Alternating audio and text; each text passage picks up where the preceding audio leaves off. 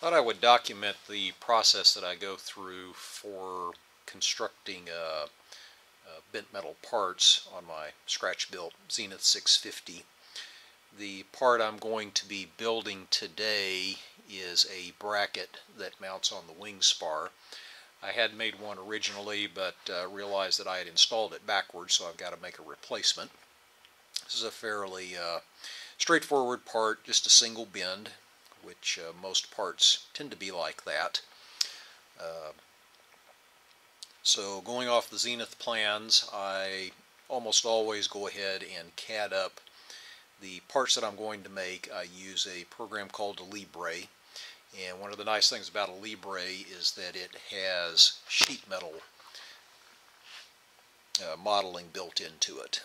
So it takes into account things like the uh, uh, like the bend radius and you can lay the lay the part out flat and you can uh, get all the different links. Now one thing I'll point out here is this red line here, this corresponds to the sight line of the bend. And I will show where that comes into play when we actually go to bend the part, but essentially this is the edge that you want to line up on. These right here are the tangent edges and that is where the uh, where the leaf of the brake will actually clamp down but you can't actually see that location so you have to do an offset.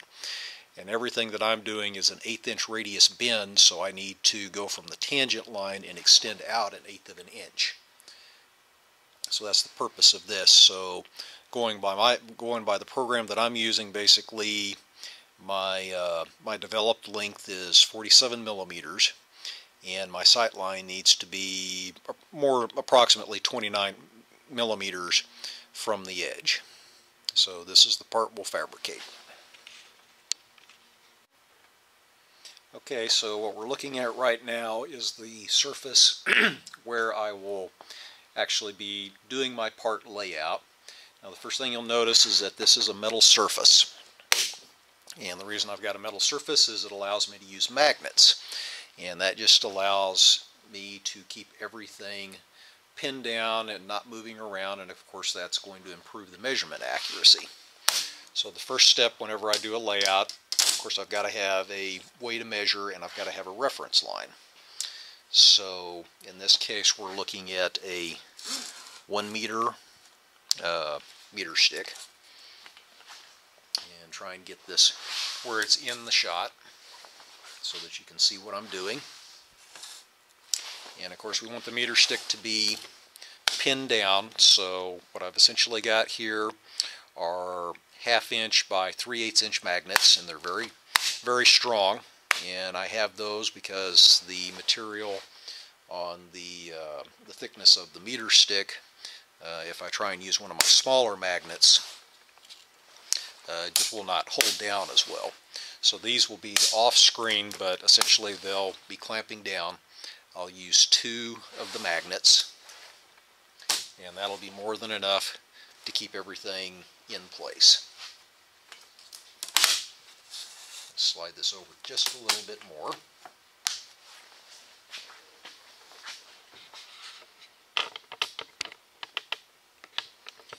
And try to make sure everything's in view. So then the next part of the process is I use what are called parallels. Uh, I mean, I have I do machining as a hobby, so I have a lot of machinist type tools, and they've turned out to be quite useful for uh, do, for doing my layout.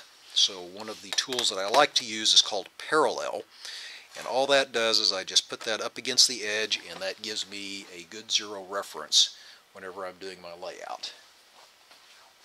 So then the next part, uh, this, this uh, bracket that I'm making is 040 6061 T6 aluminum. So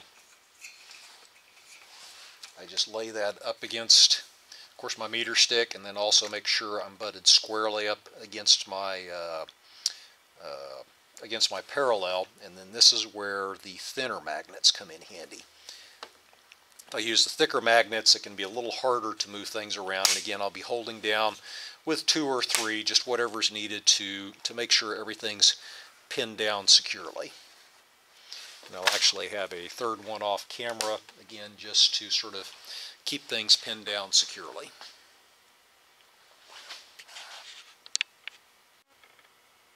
Okay, so the next step we'll do here is start doing some layout.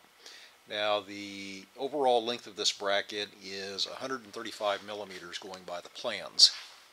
So the first thing I like to do is just know how far that I need to go and this is another case where having the parallels uh, come in quite handy because these edges are all square and of course it just lines up very nicely against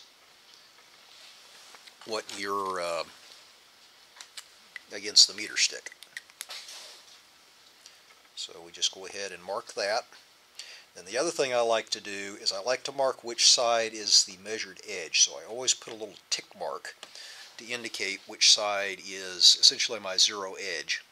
Now on the one hand this pin the pin width is roughly about 0.5 millimeters but if you get into a situation where you're doing a lot of bends these little 0.5 millimeters could add up very quickly and uh, you could find yourself further off on a dimension than you prefer. So I always like to to indicate which edge is my is the aligned edge. So the next step is to start drawing the horizontal lines. And in this case we are wanting a length of approximately 29 millimeters. Now in this case I like to use what are called gauge blocks. Again, this is, uh, the goal isn't so much you're trying to get within like a thousandth of an inch or something like that on your measurements because you're, you're never going to bend it that accurately. But where it does come in handy is just making it very easy to do layouts, uh, do these kinds of layouts.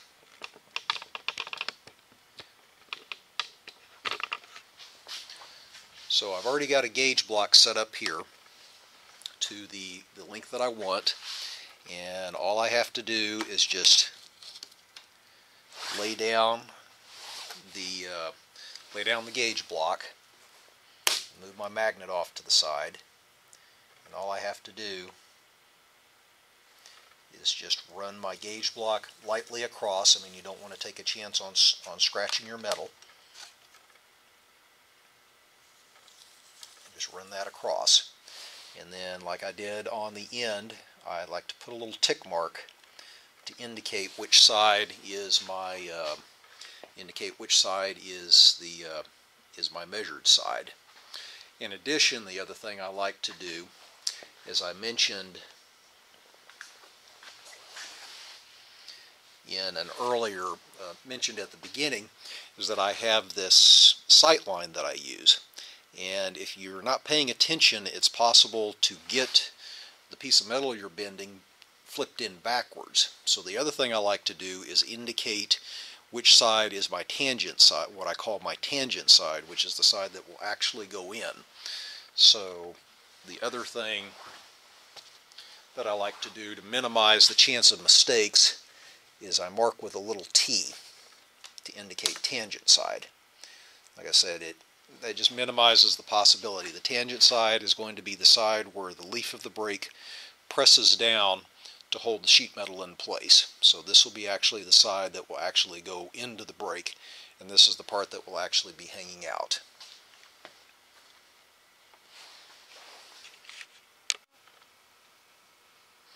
And of course just to point out as well, it's always, you know, uh, I've used calipers plenty of times and one of the again one of the advantages of using the magnets is when you're needing to do your layout you can always uh, it makes it a lot easier with everything held down rigidly to be able to uh, indicate your measurements. So in, if I were just using the calipers I would put a couple of tick marks along here and then I could come come up with the uh, with either my meter stick or I could even use one of my parallels to actually draw the line out.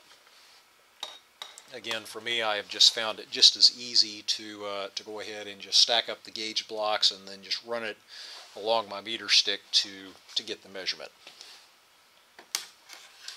And of course, the other thing to keep in mind, I mean, the, the purpose of using the gauge blocks is not to try and get your measurements to within a thousandth of an inch because you're never going to cut that accurately. Uh, the, the main reason for using the, the gauge blocks in this case is, is just for the convenience of being able to do the layout. So at this point I will go ahead and cut my part out. Go ahead and I mean I'll just use plain old plain old uh, snips just to go ahead and trim this off. I will not trim this off at this point. Since it's just a just a single bin I'm going to leave that on here and I will uh, uh, trim it off afterwards. So next step will be to go ahead and go over to the brake uh, after the cutting is done and go ahead and get this part bent up. Okay so we're now on to our next step of starting to bend our part now, I'm sure you'll probably notice the colors on the lines have changed. And that's because I had a little problem when I was setting up my shot. I accidentally, when I left my original part sitting in the brake when I was testing to make sure that the leaf was going to uh, stay clear of the camera. And I accidentally bent the part. As Tom Lipton would put it on his uh, Oxtoolco, uh, Ox Co. YouTube channel, uh, Mr. Bozo paid a visit. So I had to fabricate a new part, went ahead and uh, used blue ink this time. So first thing you'll notice is that I have the part oriented so that the uh, side that I indicated is tangent is pointed towards the inside and we'll want to get that lined up and this is where the parallel comes in handy again because I can lay that up against my, against the nose of my brake and make sure that I've got my sight line set properly. And it looks like I've got it. So then on my brake sometimes the parts will shift a little bit when the uh, when the leaf gets closed. So I secure the part with magnets just to minimize the shifting. Now I'll go over here and go ahead and drop the leaf down. It's now down. We'll pull the magnets off and then I'll go back again and check my sight line and nope it did not uh, something shifted or the nose moved, moved on me a little bit so we've got to go back and do it again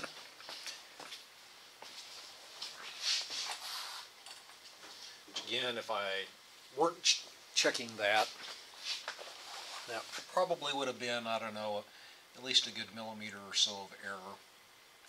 So I'm going to scoot this out just a little bit again, hold it down, verify with my parallel that I'm lined up, put my magnets in, you want to make sure that the magnets are clear of the nose of the brake so that uh, it doesn't hit the magnet and cause the part to shift, and we'll give it a second try. So we're back down again. Pull the magnets, and we're still in the wrong place. So what I'll do is I'll pause the video. Sometimes it can take several tries getting this thing uh, nudged into the right place. So I'm going to pause the video while I finish uh, uh, tweaking on this and then we'll continue. Okay, it probably wasn't necessary to pause the video. It only took me one try. Sometimes I can hit it the first time around and sometimes it can take me three or four tries to get it. But when I look down uh, with my uh, parallel, I can see that I am hitting my line and I don't know, I could probably nudge this issue, nudge this edge a little bit, but I mean, we'd be talking like maybe a quarter millimeter or something like that, so uh, I certainly will not chase after that. So the next step in all this is to figure out how much I need to bend, um, uh, bring up the leaf of the brake. Now one thing I've done,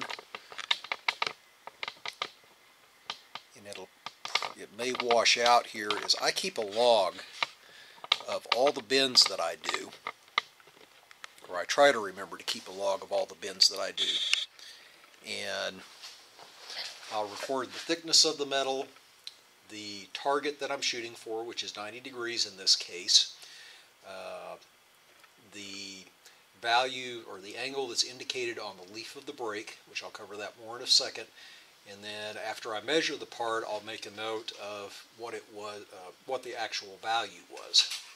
Uh, the other thing I've gotten into the habit of doing is making a note of the length of the part that I've been I've been because quite often, or I've noticed as I've done several bends over time, that sometimes the angle that you get can vary depending on the length. And you know I've got several pages here uh, of of bends. So I'm going to look up here on an earlier one for an 040 and try and find something that's in a similar length. And I've got a bin here of about 230 millimeters at 040 which I'm not even sure if that's showing probably not showing on the camera. And let's see yeah 230 millimeters 040 and it looks like I had to go to 81 degrees on my uh, on my uh,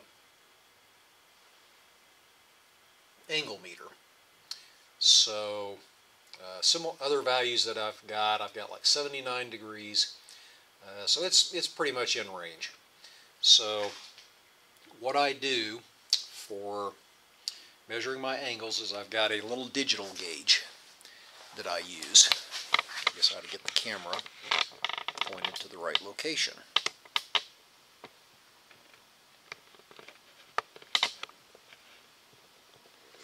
It's just a simple little digital gauge that I picked up at Harbor Freight.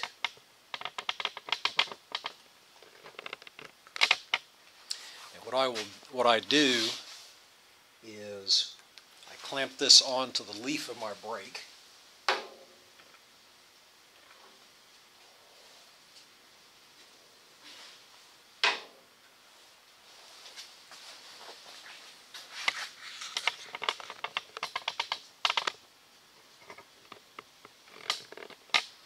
Clamp that onto the leaf of my brake and I'll zero it. And all the angle measurements that I take and that I have on my sheet are measured from the, the leaf of the brake in that, uh, in that resting position. And I will raise the leaf of the brake until I reach that value of whatever it was I had before, looks like 80, about 81 degrees. So Going to reorient the camera back to the piece of metal. And probably lots of shaking going on here, so I don't know, maybe you need to take some Dramamine.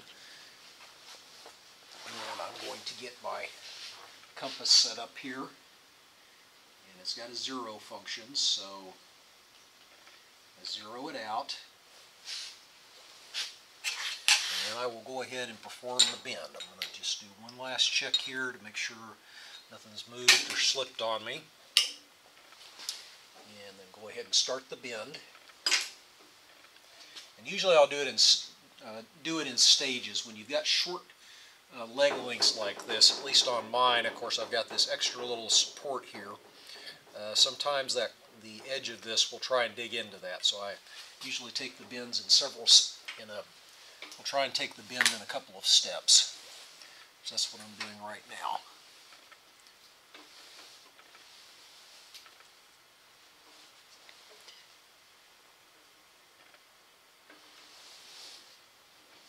Oops. Just noticed a little problem here.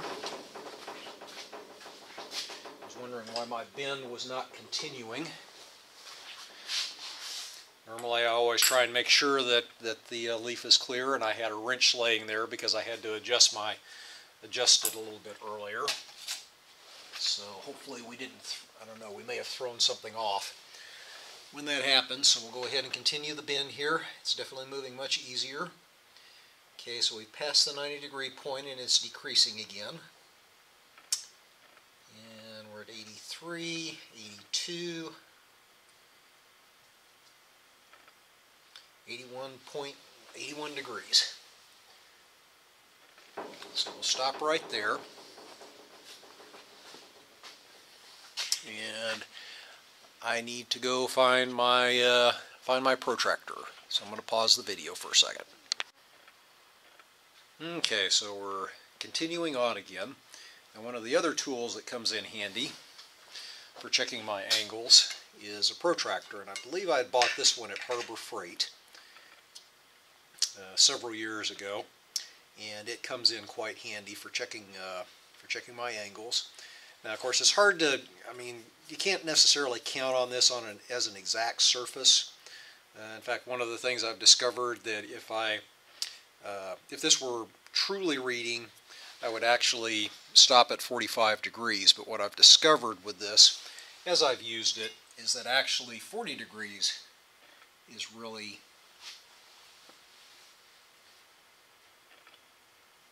will give me 90 degree will give me a 90 degree bend.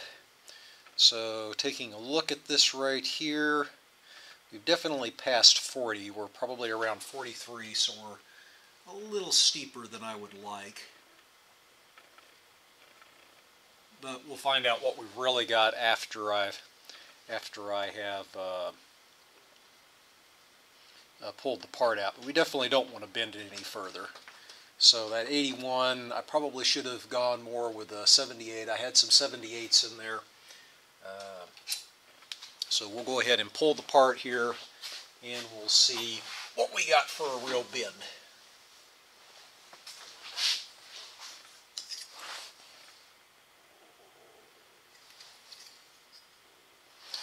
This is the part which you probably will not focus in. It looks like it could be a little over bent, but we'll see by how much.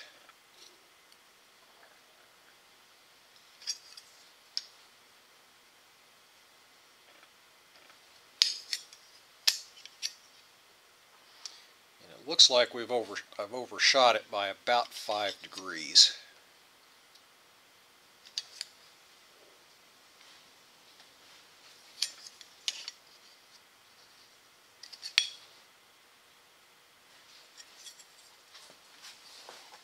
So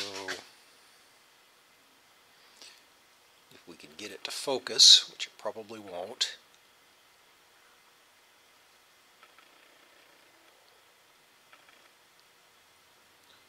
showing roughly about 40 degrees, which uh, 45 would be at 90 on this particular scale. So it did go over a little bit.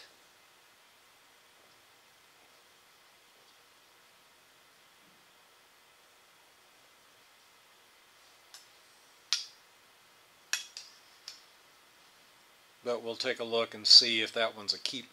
I'll have to do a little checking to see if it if this one will be a keeper or not. But for the purposes of the video, uh, you know that sort of covers the basic techniques. Sometimes it can, can be a little tricky to get the get the uh, get the exact angles. Okay, one thing I'm going to go ahead and discuss briefly is the use of a uh, of a surface plate. Now, a surface plate is a machinist tool. It's based it's, uh, anymore. They're made out of granite, and they're generally uh, uh, ground flat to under a thousandth of an inch. Uh, there's different grades, and you can get them at you know to within a ten thousandth of an inch, or even uh, uh, finer than that. This one I think is probably like half a thou. It's a relatively inexpensive one. Uh, import, I think I paid a little over $100 for it. Uh, they do make a slightly smaller one, 9 by 12 that you can get for 50 or $60, so this isn't exactly a really, this isn't a, an expensive tool by any means. Uh, it's definitely worth having around. The one thing I wanted to point out here was my uh, 90, uh, getting my 90 degree on here. This is a uh, an angle plate, which is machined 90 degrees uh, on all sides. And of course the part we just made fits in there quite nicely on this side. On the other side there's probably a little bit a little bit more tweaking that maybe could be done, but maybe not. I mean, uh, just a little bit of finger pressure seems to get it to fit in there quite nicely. So, uh, may not really be necessary to, uh, to do any more tweaking on this. Now, one thing I do need to do this is my original part. You might have even noticed it off to the side. Uh, this is the one that I uh, drilled in backwards uh, and needed and caused me to have to remake the part. And on this side here, I've got uh, a, uh, a uh, center line drawn out. This side is 20 millimeters in size. So one thing I have to do here, and where the surface plate comes in handy, is to lay this against here and then build up a gauge block and you can just run the pin across there. Uh, now of course there are other ways of doing it. I mean if you've got a calibrated steady finger you can certainly uh, you know hold a pin and lay your finger and run it across. Uh, and of course there's some additional tools out there uh, that will hold a pin and, and help you uh, uh, maintain your distance. but I found I found this works quite well. unfortunately for the handedness that I've got here. I don't know if you'll be able to see me do this layout, but we'll go ahead and give it a try. Uh, again, just run this along here.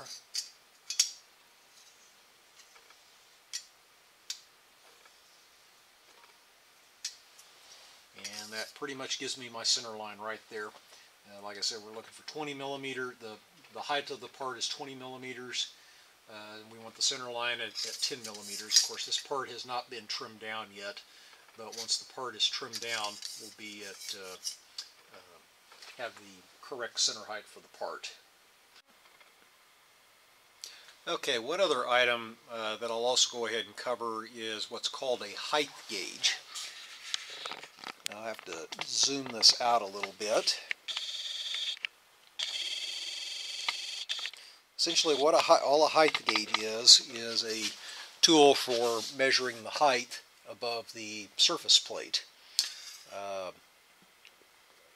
and of course it relies on the fact that the surface plate is very accurately uh, round and of course this has a flat base. And of course the type that I've got is digital. Uh, there are some uh, analog types uh, out there as well but of course these come in quite handy. Uh, there's a couple of uses that the height gauge can be used for uh, when you're building an airplane. Uh, now, of course, one use that's common in metalworking is you can set a height and then this is a carbide edge here and you can use that to scratch a reference line. Now, of course, you don't want to do that generally on aluminum. Uh, because obviously that can lead to stress risers and, and could result in cracking. Though I have used it a few times for that purpose uh, when I've got larger holes to drill and I know that whatever scribe line I put in there uh, is going to get drilled out anyway. Uh, but the more common use for me is to use it for verifying dimensions of parts. Now this particular part was, uh, uh, the specification is basically 20 by 30. Of course, the 20 side we're sort of going to get automatically because I've got 20 millimeters drawn here and all I've got to do is cut that off. Uh, but this side is going to be dependent upon the calculations that I made. And uh, we want 30 millimeters height on that. So uh, we'll go ahead and lay that up against there and bring it down and we'll see what we've got.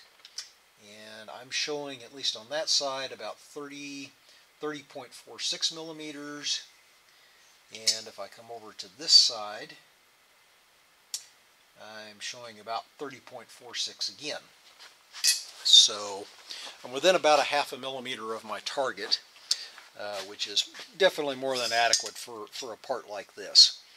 Uh, like I said, it's uh, it's something that you know can make things a little bit easier uh, for measurement. It's definitely not a requirement. Um, but it uh, can be useful, and of course, if you didn't have something like this, of course, you would find uses for, for a tool, for a setup like this, uh, you know, going way beyond air, you know, airplanes. Uh, you know, having a very accurate surface, reference surface to take measurements from is, is, uh, is very useful. So I think at this point, I think this covers everything that I wanted to discuss as far as the, the techniques that uh, I've been using for, uh, for fabricating parts for my airplane. Uh, you know, there's definitely simpler ways to do it, or uh, other ways to do it. uh, using uh, using simpler tools. But on the other hand, uh, I think just about everything I've shown here in terms of measurement tools are really very inexpensive anymore. Again, uh, I don't think anything uh, you couldn't find uh, would be over a hundred dollars. Uh, I mean, of course, for a hundred dollars, you get what you pay for. I mean, you're not going to get the quality of a Starrett or a Mitutoyo, but I think for uh, uh, for for the needs of someone that's uh, building an airplane or just doing a little home shop, having a set of measurement tools uh, like a surface plate, uh, height gauge, gauge blocks uh, can uh, can certainly make things a lot easier and and uh, and a little bit more fun. So I hope this uh, little demonstration is useful, and if you've got any other questions, uh, just leave a uh, leave a comment.